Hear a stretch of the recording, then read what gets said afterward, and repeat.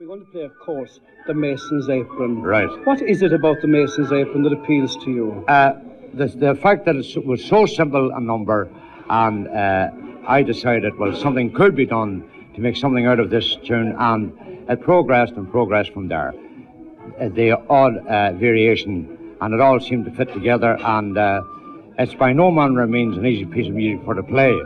And uh, my classical ability uh, and technique of fingering makes it handy for me for to play it. But I certainly don't re- recommend it to any traditional fiddle player for to play.